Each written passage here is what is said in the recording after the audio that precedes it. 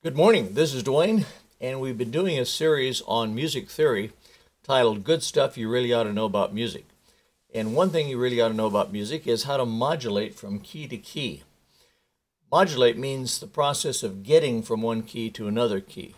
Transposing is the process of playing in another key. In other words, if, if you're playing for a singer, say, and the, the music's written in the key of C, but she, she needs it in the key of E flat or the key of A flat or whatever key, uh, you have to transpose it to that key, right?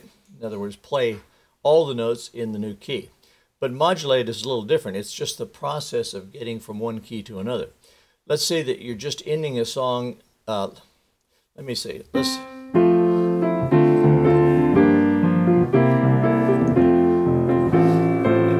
Let's say you're playing Auld Lang Syne.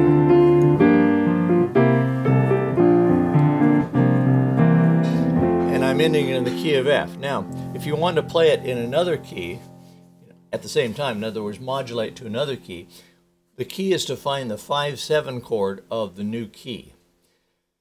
The new key, of course, is would be home base, right? Let's say you want to play it in the key of G. Well, we're in the key of F, so G is one above that, right? So what's the 5-7 chord of the key of G? Well, G is the one chord, so we count five notes, and the answer is D. It's a D seventh chord. That's the chord that moves best. Uh, it wants to progress to the key of G. So if I'm ending in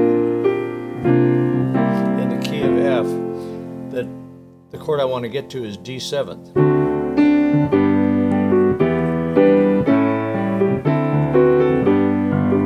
Then I can play it in the new key. Let's say we wanted to play it, though, in, I'll say A flat.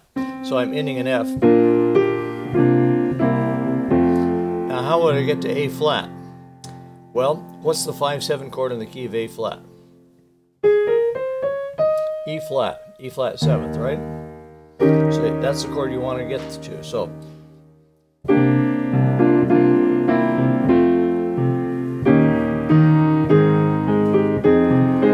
So I just get to the 5-7 chord, play that, and then move to the new key, okay?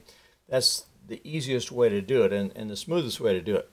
Now you can make it even smoother if you play the, the minor 5-7 of the 5-7. In other words, if I want to move to, to E flat, I mean to A flat, I know I've got to get to the E flat 7th chord. But it's smoother if I move to the 5-7 chord of E flat 7th, uh, which is B flat and make it a minor seventh, and then to E flat. Listen.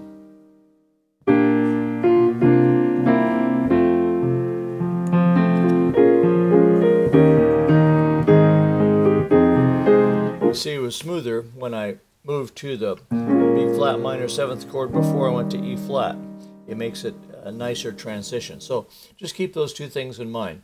But the main point is get to the 5-7 chord of the new key, and that's the chord you want to modulate to the new key. Okay, that's it for today, uh, the subject of modulation.